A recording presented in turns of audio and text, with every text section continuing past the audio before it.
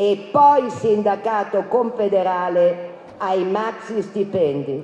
Come è venuto molto comodo prendere i dati del tutto parziale, ognuno di noi ce l'ha a metà anno della vostra CGL e renderla uno scoop sul giornale per dire che il sindacato confederale ha meno iscritti e anche l'articolo di oggi sui bilanci del sindacato, sui patronati, sui CAF, risponde esattamente a questa logica.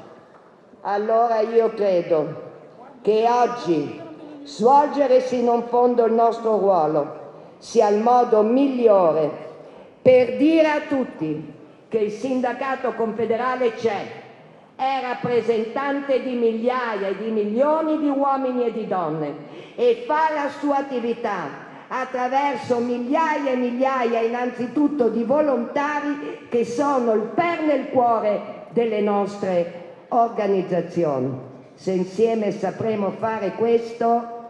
cambieremo davvero marcia a questo Paese lo renderemo più equo e più giusto e faremo contratti che garantiscono certo la produttività e la competitività delle imprese, ma allo stesso tempo il diritto di vita, di dignità dei lavoratori e delle lavoratrici. Grazie e buon lavoro.